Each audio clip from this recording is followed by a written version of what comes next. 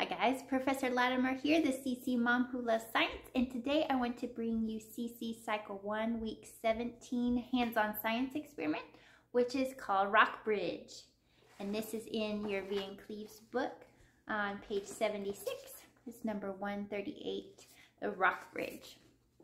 And so you could start out by asking your students, um, what is a rock bridge? Have they ever seen a rock bridge?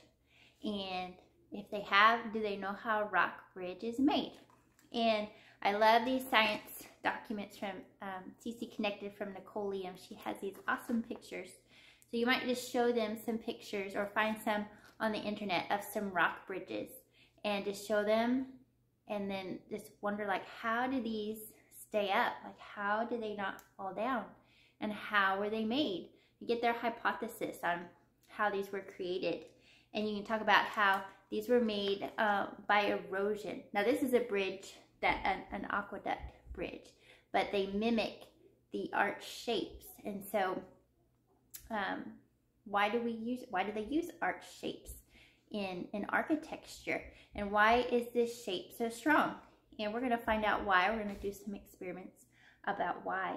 But these, these rock bridges in nature are formed by erosion, they're formed by weathering, and that is just like wind and water or ice and glaciers just wearing away. Either, you know, the wind is blowing bits of the rock away, the water is washing bits of the rock away, or sometimes the rain gets into cracks in the rock and freezes, and that ice, when that ice expands, it breaks off pieces of the rock. Um, and glaciers, they they move past the rocks and break away pieces. So they're formed by, by different things, different elements and but they're they're made of rocks. And this is a good time to review you know, what are the types of rocks. We have sedimentary metamorphic and igneous. And we're going to talk about how these shapes can be so strong. And so um, on our campus i think we're going to have some stations set up.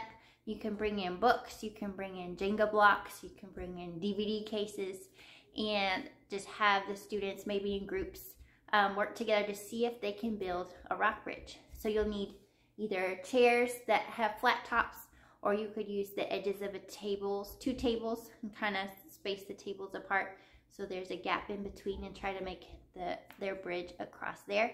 But you'll just have the students work together to build bridges. So I have a bridge that I made out of DVD cases. Um, the guide says to have, you know, your first block or book on the edge, but my chairs weren't totally flat, so I had to move move my DVD cases back a little bit. But see if they can use the supplies to um, make a rock bridge. And why does that work? Get their hypothesis. Um, you can have them experiment and see can they use fewer books, fewer cases to make their bridge. What happens um, when I make the space, when I move them farther out? Um, is it more stable if you if you move the cases um, farther out from each other or is it more stable if they're um, not so far out from each other? And we're going to talk about why. It has to do with the center of gravity. So every object has a center of gravity and that's just like, you can imagine like one point where most of the weight is pulled down. And when a rock bridge is formed, it's amazing. You can show have them imagine like a rainbow shape through this structure. And it's like you can imagine that's where the weight, when the weight is pressed down on the center, the center of gravity is like spread out through the whole structure like that rainbow shape. So it's not all the weight being pressed down on the top. The way it's created, that weight is distributed and it's pressed down actually to the sides of the structure. So it's not all that pressure and all that weight being forced down in the middle it actually distributes that center of gravity over to the side. So it makes it really strong. And that's why you'll see lots of arches in architecture.